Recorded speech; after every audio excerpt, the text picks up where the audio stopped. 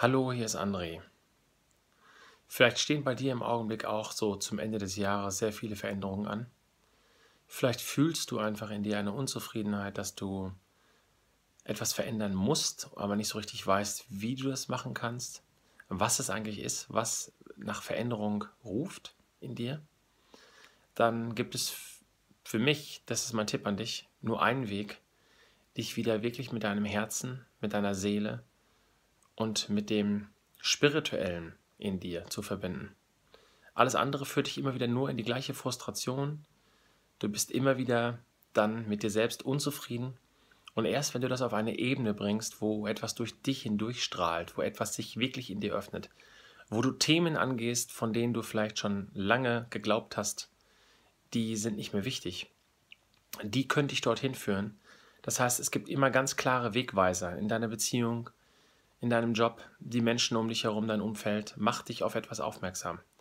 Und wenn du das angehst, wenn du dort hinein dich hineinbegibst und es nicht mehr verdrängst, es nicht mehr anders haben willst, die Situation, als sie sind, dann ist dort eine Kraft verbunden, eine, eine Tür öffnet sich, durch die du hindurchgehen kannst. Und das sind manchmal sehr, sehr feine Ebenen, die in deinem Bewusstsein mitschwingen. Und das braucht eine Konzentration und auch eine Aufmerksamkeit.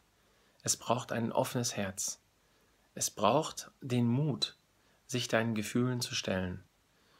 Und das kannst du gut beobachten, wenn du viel im Ärger bist, wenn du in Aggression bist, wenn du mit dir so selbst bist und merkst, du hast eigentlich gar keinen Kontakt mehr so richtig zu dir.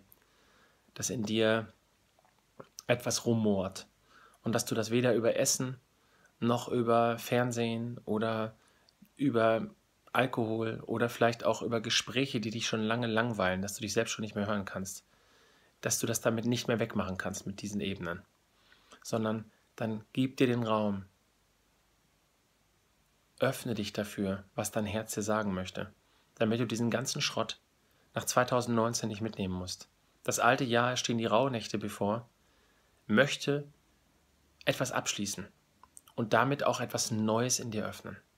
Und darin möchte ich dich einladen. Hab den Mut. Lass den alten Kram los. Sei liebevoll mit dir und sei, mach dir bewusst, dass das, was du an dir so selbst nicht ausstellen kannst oder was du auf andere Menschen projizierst, was du an denen nicht ausstellen kannst, dass das etwas ist, was sich danach sehnt, in dir leben zu dürfen. Was deine Liebe braucht, dein Bewusstsein und nicht das der anderen, sondern deins. Und darin mm, ja, möchte ich dich inspirieren und dir Mut machen, die ganzen Sachen jetzt anzugehen, die auf dich warten. Okay, alles Liebe für dich, bis bald. Tschüss.